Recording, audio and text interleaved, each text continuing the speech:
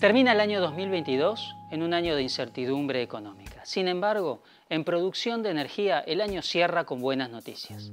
Según el informe de tendencias del Instituto Argentino de la Energía General Mosconi, la producción de petróleo y gas en los últimos 12 meses crece un 14% interanual. Y eso tiene una sola explicación, vaca muerta. Mientras la producción de los yacimientos convencionales cae crónicamente año tras año, la producción no convencional crece a un ritmo superior al 50%. Y esto no solo explica el crecimiento de la producción total de petróleo y gas, sino que más del 40% del petróleo y gas que produce la Argentina ya proviene de vaca muerta. Y esto es un dato no menor para una matriz energética como la nuestra, que depende 85% del petróleo y del gas.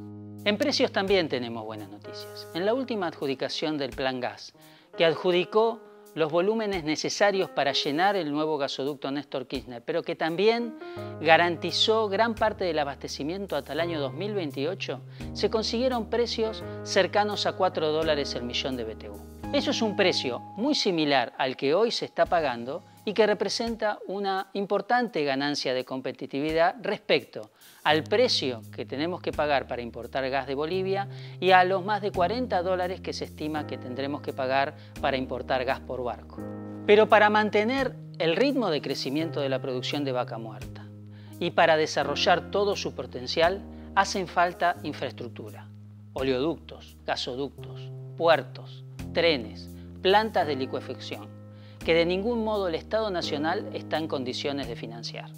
Solo el sector privado será capaz de financiar esa infraestructura, bajo condiciones macroeconómicas estables y con un factor crucial, que baje el costo de financiamiento que hoy enfrenta nuestro país.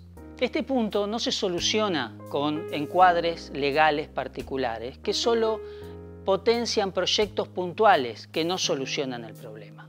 Por lo tanto, la estabilización macroeconómica es una condición de primer orden, no solo para desarrollar el sector energético, sino el resto de, los sectores de la economía, que no solo va a permitir bajar la inflación, sino desarrollar proyectos críticos que permitan crecimiento y progreso económico, que finalmente nos saque del estancamiento de más de una década.